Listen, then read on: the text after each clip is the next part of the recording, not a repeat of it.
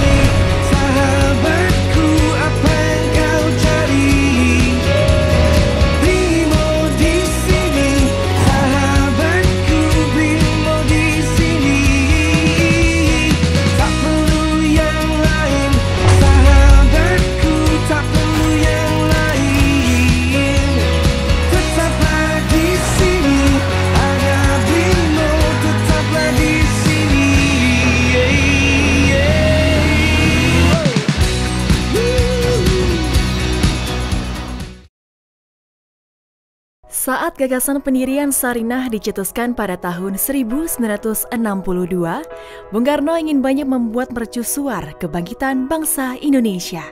Sarinah adalah bentuk perwujudan dari kebangkitan ekonomi kerakyatan menuju modernisasi dan internasionalisme. Dari masa ke masa, Sarinah menjadi saksi dari perkembangan Indonesia. Sarinah melihat bagaimana masyarakat bertumbuh dan beradaptasi melalui segala tantangan yang hadir.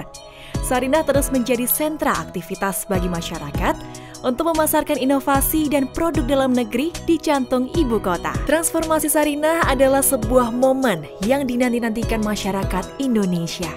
Sebuah pusat perbelanjaan yang didesain untuk memberikan ruang bagi produk dalam negeri yang telah dikurasi.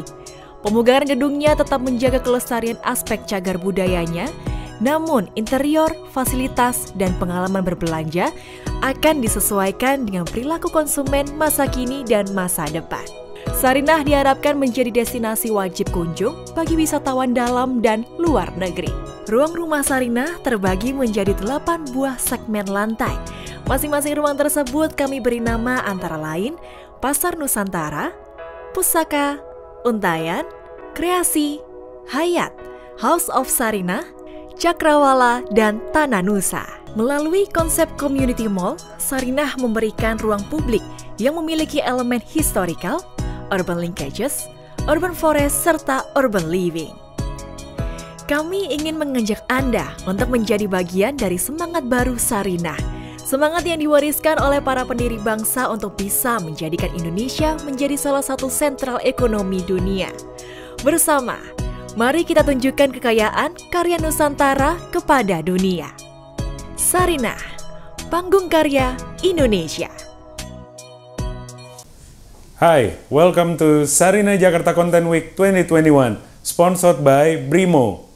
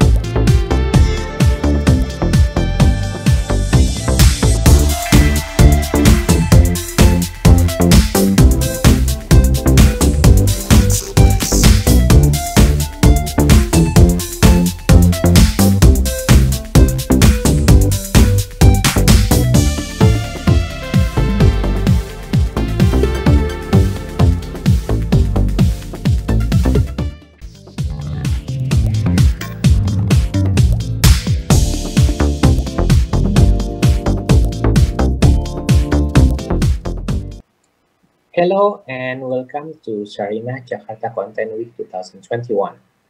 sponsored by Bank Rakyat Indonesia and DKI Jakarta Tourism and Creative Economy Agency. This event is organized by Yayasan 17,000 Pulau Imaji and Frankfurter Buchmesse. How's life? Hopefully you are safe and healthy. I'm here to present you the uh, picking the future through the eyes of the AI. So I am actually the uh, chief of AI in Nodeflux, uh, AI company based in Jakarta, Indonesia. This session is part of a LitBeat, a conference and series of talk shows, sharing sessions, and master classes focusing on new issues and technologies in the subsector of the creative industries. So let me start. Okay, um, so this is actually what we are going to uh, discuss. I will present to you to some of the technology uh, that we have every day, but we may not realize that we are having this okay, because this is actually running on the background of our life. So um, I'm going to present you with the computer vision technology. So computer vision technology is actually a part of AI technology. This is a technology which enables the machine to see, just like our eyes, right? So uh, right now there are a lot of computer vision technologies that are we are using. For example, if you are looking into your smartphone, you will have so many applications related to face recognition. So what they are doing is that they are detecting your face and then filter your image and make your looks good or makes you look funny or any kinds of things you want to do with your face, for example. Even it can also detect if you have a pimples or anything on your face. Right? So this is a the application of computer vision. AI-powered computer vision shaping our lives and it has been infused in into our life. When we are using mobile application to enhance your face, when you are using eKYC, which use fingerprint and face to authenticate yourself to, a, to open an account in the banks, to register for new services, or to register for a peer-to-peer lending. So we are using a computer vision in our life without you realizing. You may not realize that someone, uh, our government, is actually monitoring the effectiveness of the uh, COVID protocol policy, for example. And they are doing this uh, with the CCTV installed all over your cities. So this is uh, actually one of the uh, applications also of the uh, of the computer vision. We also use computer vision actually uh, in the background to do so many things like security and surveillance, traffic monitoring, uh, flood detection monitoring, even for analyzing the traffic of the uh, airlines.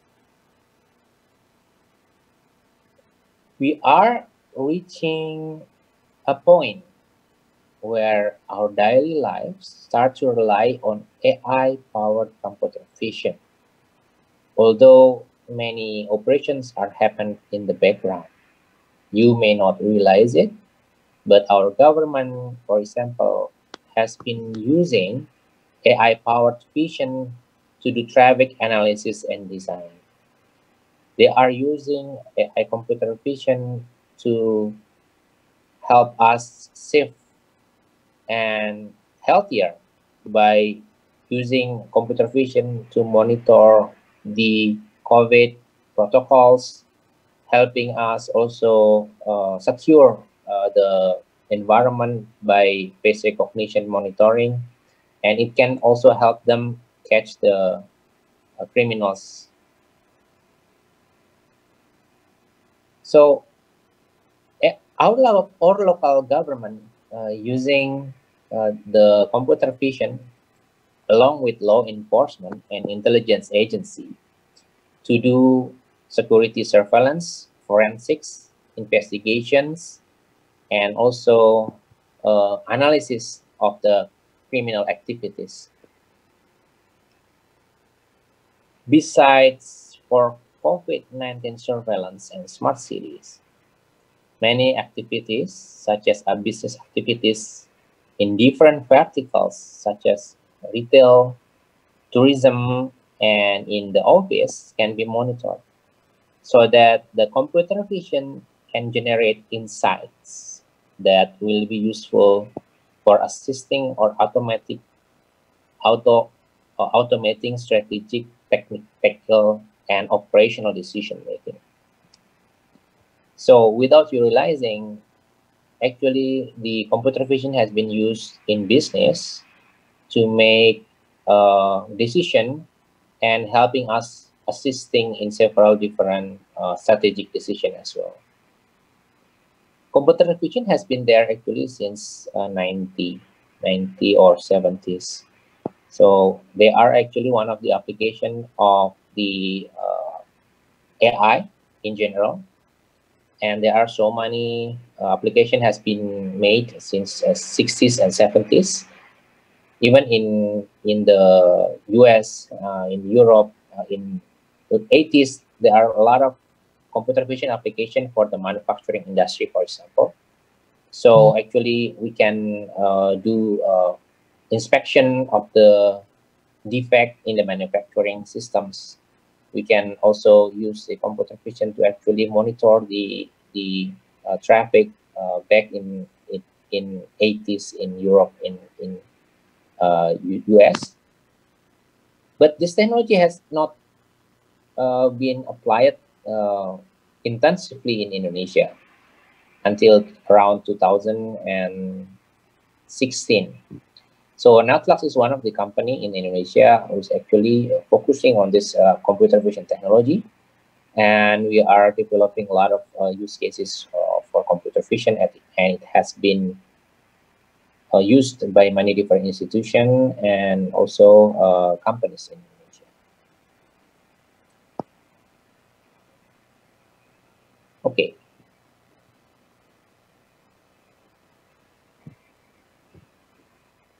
The potential that we can expect to have uh, such AI product like computer vision is actually realizing and improving the effectiveness of the OODA loop. So what is OODA loop?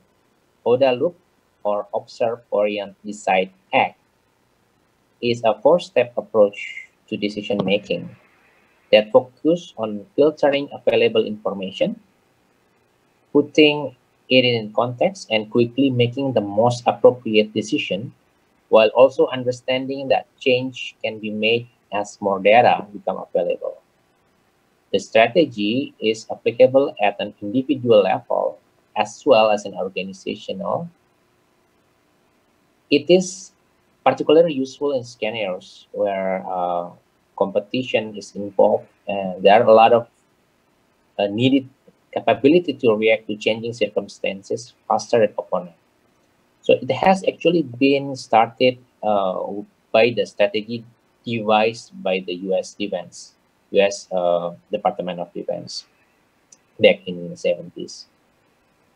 So we can also use this OODA mechanism to improve the decision making in our organization and in even in our daily life. And the computer vision is the enabler for that, where the computer vision is actually empower the observe and orient part so that any individual or, or organization can have the better visibility and better reaction to whatever changing circumstances faster to avoid adversity and any other uh, unwanted situation which escalate uh, quickly.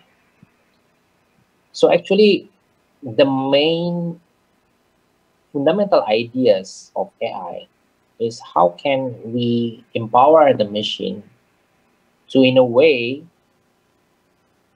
automate some of the decision or assist some of our decision that we make every day to reduce our cognitive loads. So why we are need uh, this AI technology, including computer vision, is because of this. Human has a limited uh, cognitive capabilities, right? we are very prone to fatigue, we are prone to boredom, and we also have a limited kinds of cognitive loads. So when we are in a way trying to transfer some of these tasks to the uh, machine by using AI such as computer vision, then we are freeing part of our brain which is going to be creatively uh, doing stuff uh, like uh, arts, right? Strategic thinking, uh, strategic activities like writing, uh, thinking, analyzing, and everything. Because some of the tasks has been already transferred to the computers and, and machines. So this is actually the, the fundamental ideas of uh, AI and computer vision. So every time we are building this kind of systems for our clients, whether this is a government clients or B2B uh, clients, the first question that we are asking them is what kind of decision you want to automate or augment with this solution. What is the impact of automation of this decision to your organization? And how far do you want the systems to actually taking control of your systems? Because so many organizations has already have uh, systems installed. And these AI systems, including the computer vision uh, systems, will augment their systems, but they need to understand what is the business value and the uh, the real contribution of these uh, computer vision systems. Okay, so let me continue uh, with the application uh, of the uh, computer vision, especially during the pandemic because this is really also something uh, which has something to do with with uh, decision making during the uh, COVID, uh, especially helping our government to make a correct, fast decision. So, if we are talking specifically about COVID nineteen during the uh, during the during and before even the COVID nineteen pandemic, Computer vision can be used to do mobility monitoring of people and vehicles in several points in Jakarta. Computer vision is also used to monitor and enforce the effectiveness of the policy. For example, the face mask usage and the minimum the minimum distance between individuals. The AI-based solution, such as face mask detection, has been used in public places like public markets, airports, bus and train stations. The information we get from the camera related with mobility and the flow of the people in the car are valuable to fit a kinds of simulation models to adjust and test the effectiveness of the policy. For example, traffic opening and closing where the local government will deploy its enforcement team, etc. I think this is the most most uh, significant one for the COVID uh, pandemic. I see other technology of computer vision use, for example, body temperature detection, COVID detection using X-ray image, but I think it's only a gimmick, and the effectiveness is really questionable. If we are looking at other countries, like China, for example, where all the data of the person infected by COVID, suspected and healthy are recorded systematically, along with very well managed identification systems, the face recognition, which is part of the AI, has been used effectively to control the mobility of the person suspected with COVID so that it is much easier to control. So in some companies, uh, computer vision is more effective actually in, in helping controls, uh, in helping the government controls the pandemic. Now let's talk about the uh, uh, privacy of the user. Okay, so um, the security and the privacy of the user is the first thing that we are concerned about. As a company, uh, which is working in, in AI, deploying AI all over Indonesia, we must have uh, kinds of security and privacy certifications so that we are using a certification like for example ISO 2707110 and we already have that. We already uh, passed that certification. To rest assure all the process in Nodeflux has been audited validated and governed so that we will not have problem with privacy and security of personal data. After all the face recognition application for example is not actually abusing your personal data so actually the data that you have, especially your face and everything, is actually embedded in the form of a vector matrix, or we call it embedding of the face. So we don't keep any of your personal data.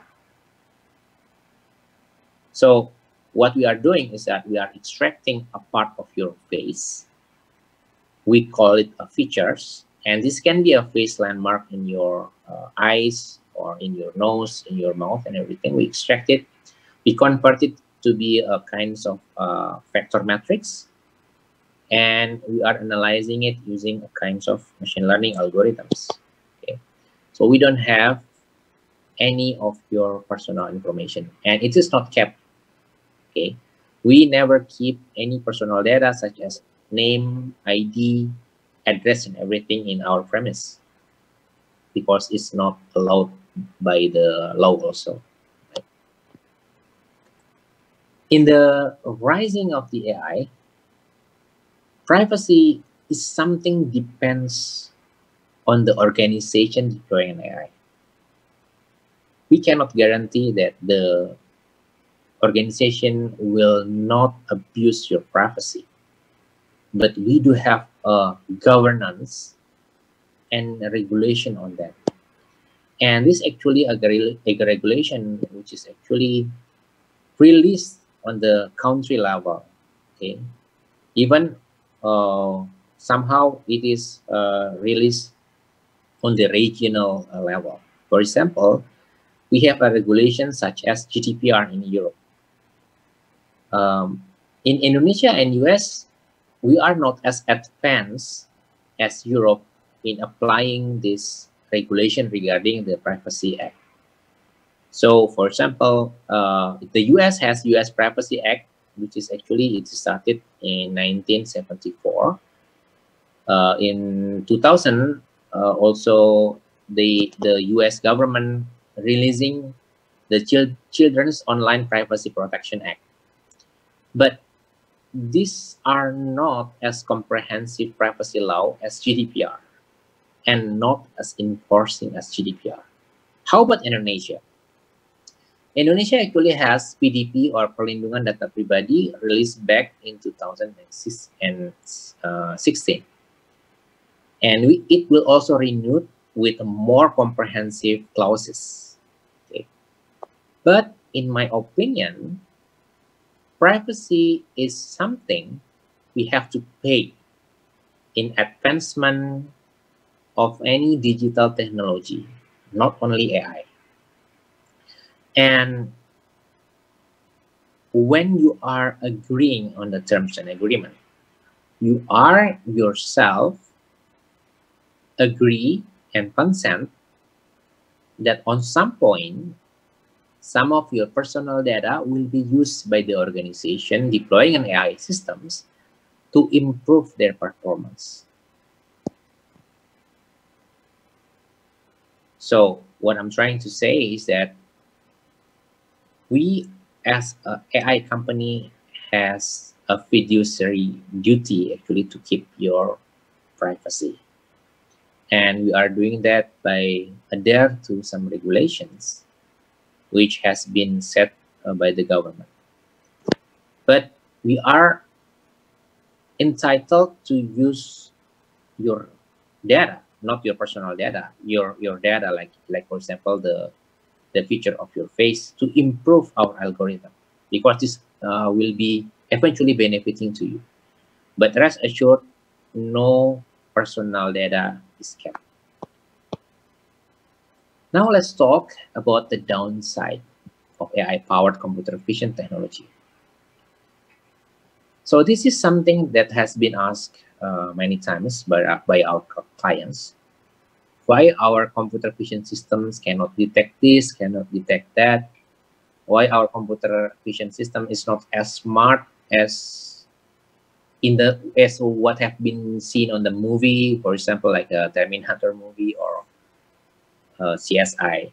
Okay, so actually, uh, I, I would want to say that we still have a lot of limitation in the current state of the AI technology. Okay, for, for example, AI-powered computer vision is mainly based on the deep learning technology. And deep learning has many limitations. It cannot reason. It cannot thinking in or out of the context. And it will make false negative or false positive. And they can do that sometimes without an explanation. Also, right now, we still have a bias or unfair AI algorithms. Depends on the data it is trained. Right now, so many technologies and research has been developed to overcome this problem, to overcome this explainability problem and bias in AI. But there are a lot of uh, things needs to be done. One more thing, I just want to emphasize again that the immersion of IoT, Internet of Things, and AI technology in life is like a double-edged sword for me. On the other hand, it's good because it will help us with our decision making, uh, lowering our burdens, lowering our cognitive loads and everything. But we must remember that we cannot trust the AI system 100%. Okay, whether it is most advanced self-driving car or fully autopilot airplane, which is based on the AI technology, we cannot trust them 100%. Why? Because so many things can happen. There will be possibility of systems malfunctions. Even it's rare, it can happen. There is a possibility of error or cybersecurity attack. So we still need, in a way, to control and govern everything manually. We have to do what NASA, National uh, Space Agency of the UI of the United States, does to their autonomous systems. Okay, so if you understand what NASA does, they are not 100% relied on their autonomous systems. They are applying a kinds of human in the loop mechanism and multi-layer failover prevention and mitigation. And this is very important to remember. So even you have a level five uh, self-driving car technology, right now the the the highest level is level two by uh, Tesla Autopilot. Right? But my suggestion is for you to keep an eye of the car, keep your hands uh, ready on the wheel in case something because we cannot trust AI 100%. So, to make sure that we have a good failover mechanism, we need to be able to design the AI in a, in a, in a very safe way. And this is what is job of any uh, AI architect. Okay. Okay, how about the future of AI technology in Indonesia? The future of AI, AI in technology in Indonesia is bright. Okay. In my personal experience, we have been using AI for many different applications from ordering food, dispatching and finding a taxi and object, security and surveillance, also some applications that we have been using in agriculture, uh, also in data security and, and and e-commerce as well. So if you are now selecting uh, airplane for your next trip, we are using AI actually to help us finding the best uh, route and the best price for us. Last but not least, what is lacking in Indonesia if we want to apply this uh, AI technology effectively is that we are lacking a good internet infrastructure. We have the slowest internet in Southeast Asia. So what we can do to overcome this challenge, we need to design a smarter AI that will run on the edge, that can infer a reason with the minimum communication with the server via the internet. And this is actually what the AI company in, in Indonesia must develop.